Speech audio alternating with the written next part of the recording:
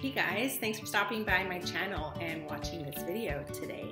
Excuse the noise back here. It's February, so we got some hearts up. So today I'm gonna talk about poop. So I'm gonna show you how I use my diaper sprayer and our setup and I hope it proves helpful to you. If this is your first time trying to figure out what to do with poop, you're in the right place. So if your baby is not yet on solids and your baby is exclusively breastfed, you are in the best place possible for cloth diapering and poop. Babies that are exclusively breastfed, their poop is actually water soluble, so you don't necessarily have to do anything with their poo. You can just throw it in the wash and it should break down just from the water itself. We personally rinse poop out just as a rule. Uh, we weren't as strict as we are now, as I'll show you how our system goes. So if your baby is on formula or a mix of breast milk and formula, then you do have to make sure that you wash poop out of inserts properly. Why do you need to wash poop out? Well, poop on inserts or liners or wipes, they clog the pores of those materials. And after a while, you will start to have problems with stink.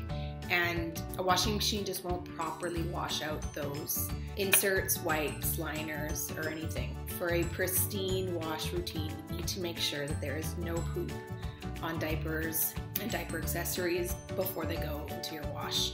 So your pre-wash is mostly targeted at poop and then your main wash helps to ensure a better clean. So you do need that pre-wash and that main wash. So in this video, I touch on a wash routine and why it's so important. So let's just get back to the poop. One of the struggles that we got to once our son started solids at about six months was how to deal with the poo. When you look online, there's a lot of different methods. So the most popular ones that I saw were the dunk and swish. So you take the insert or the liner and you basically put it into the toilet and you dunk it and then you swish it off with the hopes that most of the poop will just fall into the toilet. This is what we do when we're out and about if we don't have access to a diaper sprayer. So if we're at grandma's house or in a public washroom. Some people use a spatula of some sort. They'll just scrape the poop right into the toilet. Again, it works. We've done it. I went about four months doing the spatula thing until my husband was like, Do you feel like you need to suffer every time Liam poops? Like, why? why don't you just buy a diaper sprayer? And I honestly convinced myself it was a luxury item. If you've seen any of my other videos, I try to just buy what is necessary. Thankfully, my husband just said, enough is enough, we're getting a diaper sprayer. Anyway, here's how we set up our diaper sprayer. I'll just show you in this video. So as you can see, our diaper sprayer is hooked up to our toilet.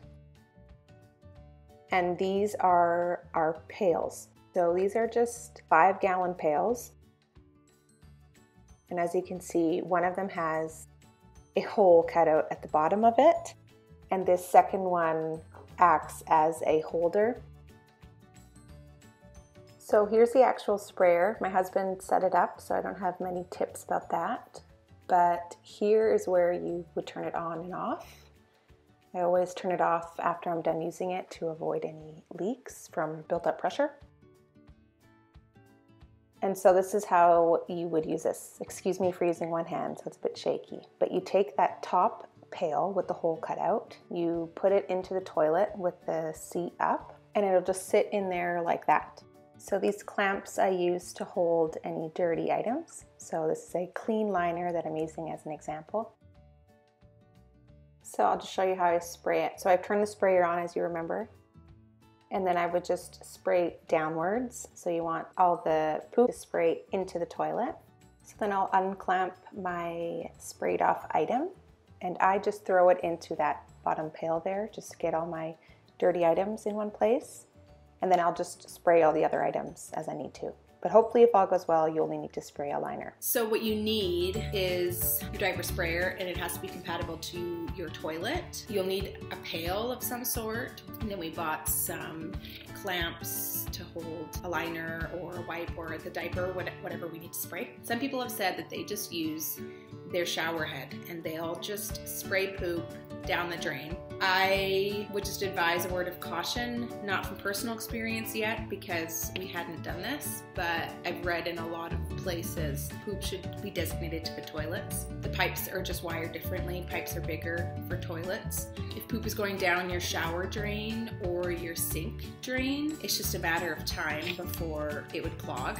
With that being said, after we use our diaper sprayer, we spray as much as we can into the toilet. Whatever we can't get out with the sprayer, I will just by hand just scrub them out in the bathroom sink. And I think stuff like that is fine they're not huge chunks. So in another one of my videos, I talk about liners. And liners are important because they protect your inserts from poop. Some people do use disposable liners.